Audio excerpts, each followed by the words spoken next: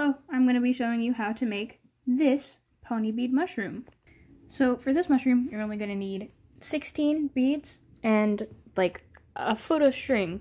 It's really not that much string. To start off, you're going to thread two beads. If I can find,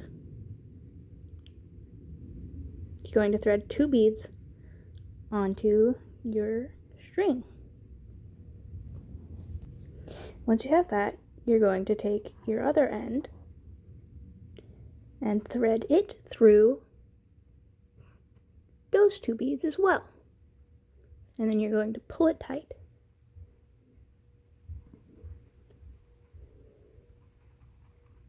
Like that.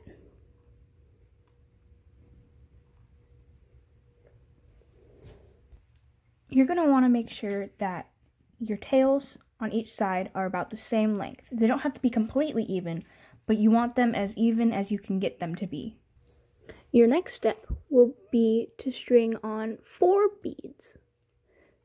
You can string them on in whatever order you would like. I'm doing red, white, and then two more red. Shoot, I cannot do this today. There's my white. And then two more red.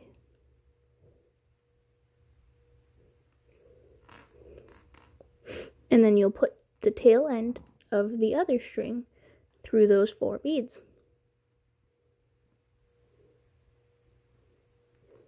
And then pull it tight.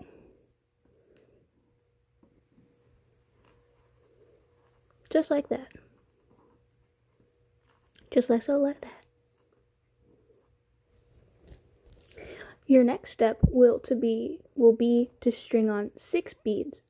I'm doing four red and two white, white on each end. So there's white, then four reds, then your last white. After that, you will take your other string and put it through the beads like you did on the other two rows.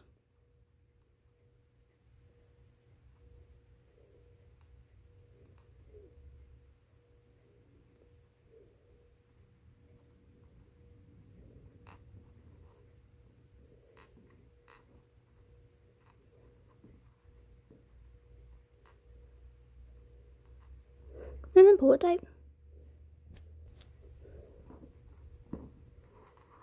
Just like that.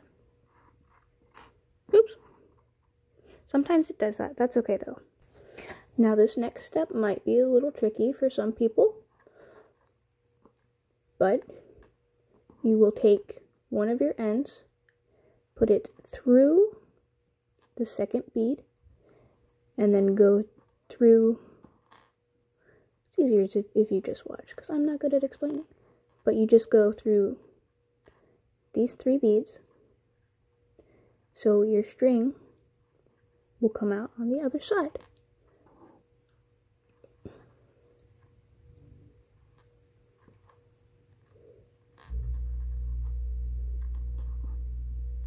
Like this. So you go under this one and then through the next three and then you will do the same thing on the other side. Go under that one and then through the next three.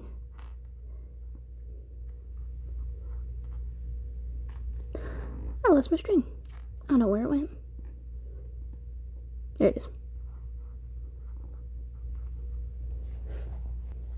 So to adjust these, you have to pull the white, the end pieces up, and then you can just tighten them. You might have to do this a few different times to get it to stay flush with the other rows, but that's okay. Not everything is perfect the first time you do it. This is my first time doing it with stretchy cord, so it may look a little weird. That's okay. So you set these two strings up to add the final stem. See, they come through here and then go through these two beads. I'll show you. So, I think it would be a lot easier if you had longer string than I do, so maybe go a little bit more than a foot. I did not plan that well, but it's okay. I'll still be able to get through this. So, just take those two, and thread them through like you did the first row and the second row, and then you do the same with the next two.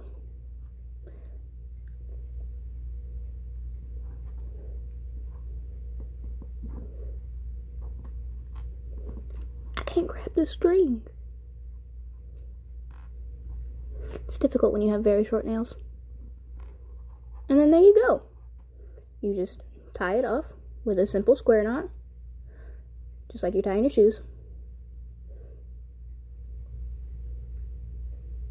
Do that twice, just so it'll stay. And you fix it a little bit, and then there you go. You have your own little pony bead mushroom.